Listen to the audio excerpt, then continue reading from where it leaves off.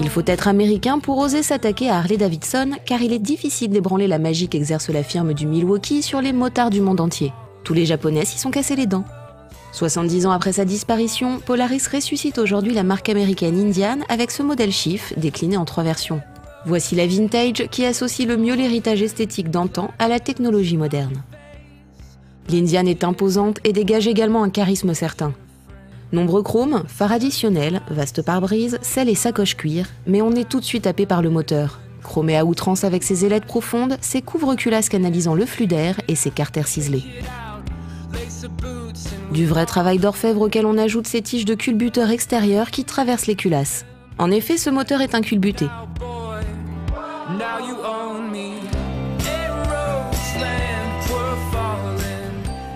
Alors Indian, pour ce renouveau, a refait un moteur. Hein. C'est marqué 111 euh, sur son carter. Donc c'est 111 euh, cubic inch. Et donc 1811 cm3 chez nous. Ce moteur Indian est un bicylindre donc en V à 49 degrés. Un moteur surtout qui affiche un couple exceptionnel de 164 euh, Nm à 3500 tours minute.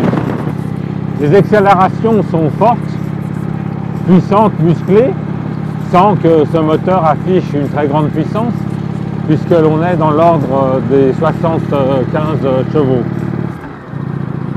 Donc ce n'est pas ce qui le caractérise en premier, mais plutôt son agrément, sa souplesse et comme on dit son couple de camion.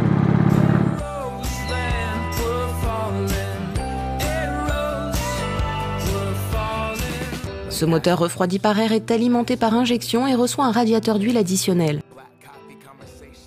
Il est associé à une boîte à six rapports avec une transmission finale par courroie.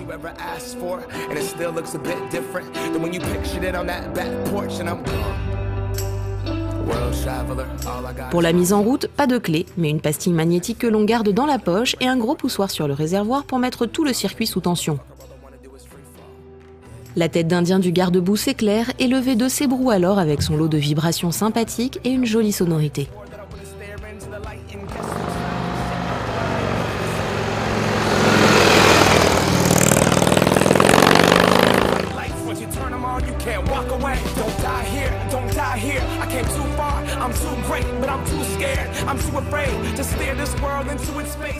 Au ralenti, du reste, on peut presque compter les coups de piston puisque ce ralenti est à 750 tours minute.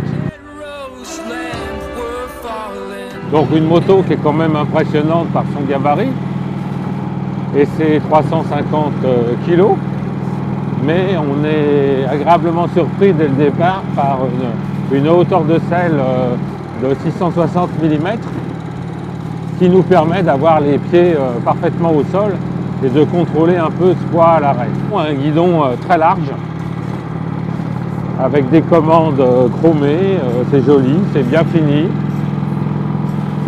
Mais ça donne une position assez low rider, hein, avec donc ces marchepieds généreux et des pieds assez en avant.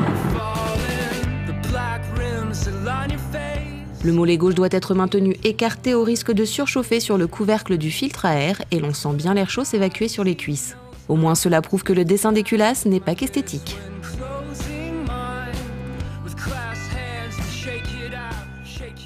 au départ, on sent immédiatement euh, la direction qui engage un peu.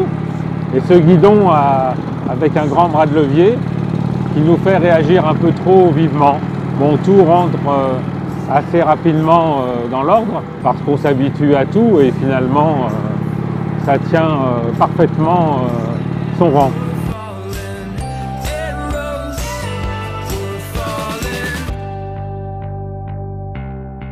Cette euh, Indian affiche un très bon comportement. Et puis un, grand confort parce que les suspensions sont quand même assez souples. Et donc euh, les kilomètres à son guidon sont un vrai régal. Nous avons atteint 165, euh, mais on doit reconnaître que ce n'est pas vraiment sa tasse de thé, avec un moteur qui est alors utilisé assez haut dans les tours et, pas mal vibrant. Donc à déconseiller. Pas, c'est pas son terrain de jeu.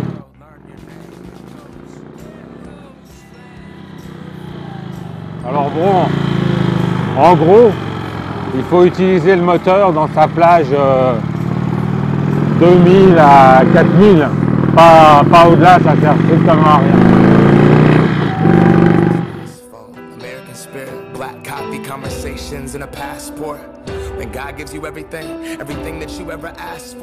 Cette moto euh, dispose d'un freinage euh, avant à double disque avec étrier 4 pistons et disque de 300 mm. Un disque également arrière avec étrier double piston. Le tout est associé à la pédale de frein qui propose un freinage intégral associé à un ABS. Il fallait bien ça pour arrêter euh, le poids de, de cet équipage. It's all night, it's all day. These bright lights, these bright lights. Once you turn them on, you can't walk away. Don't die here, don't die here. I can't Si le conducteur est bien installé, quoique la position s'avère un peu usante à la longue, le passager dispose uniquement d'un pouf assez épais. Les sacoches en cuir sont rigides et facilement démontables. Leur fermeture par clip et pression est facile. La selle, à frange également, se prolonge à l'avant par une sangle de réservoir, le tout estampillé du sigle de l'Indien. Au guidon, on trouve aussi le coupe-contact, les feux de détresse et le cruise control. L'instrumentation est installée sur le réservoir à double bouchon, mais un seul est utilisable.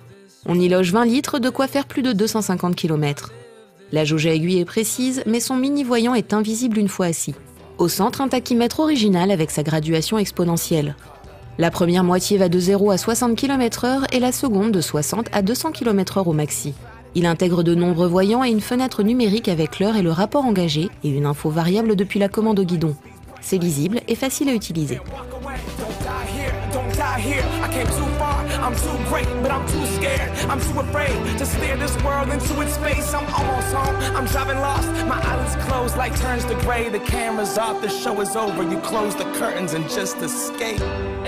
Le pari d'Indian est réussi car la marque a su mêler héritage, modernité et caractère autour d'un V2 impératif pour réussir aux States où cette chiffre défie Harley sur un terrain difficile.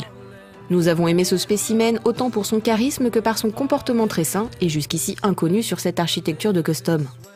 Reste un tarif d'exception, mais aussi une finition irréprochable.